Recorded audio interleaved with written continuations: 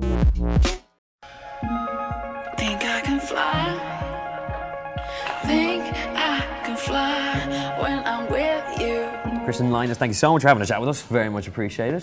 Welcome back to Dublin. Oh, thank you so much. Thank you. Things have gotten big. Things have gone very well.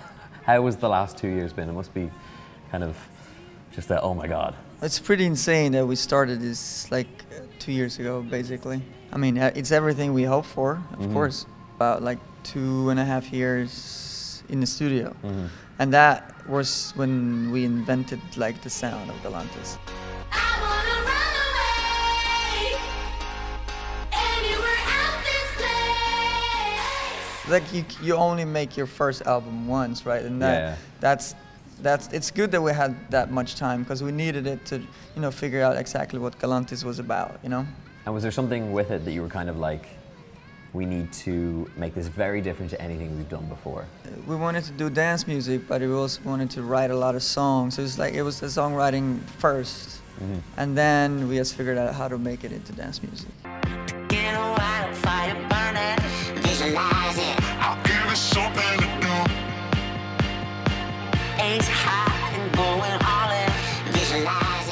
Going well, like I said. I mean, even just the stats of some things like you and I, I mean, what, number one on iTunes dance charts in 15 different countries, nominated for Best Dance Recording, uh, two Grammy nominations, isn't it? Yes. Yeah, two Grammy nominations, 190 million plays on Spotify.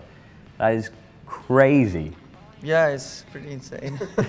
Do you look at those numbers? Do you kind of track Uh, anything like that? sometimes I mean it's it's uh, it's it's crazy when you look at those. Uh, well, what is it like? How many years? It's like uh, one thousand nine hundred years of streaming. With you you know. that is crazy.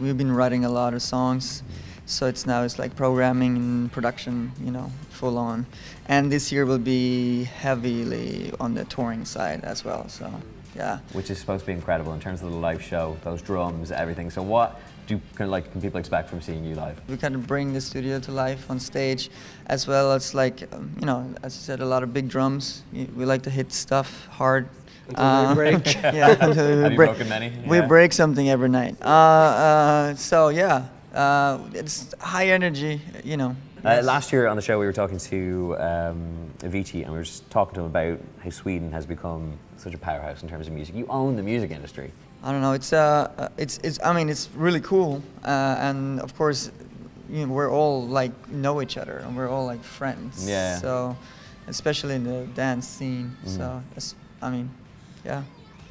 We like to stay in the studio. I think that's why because it's too cold to be out.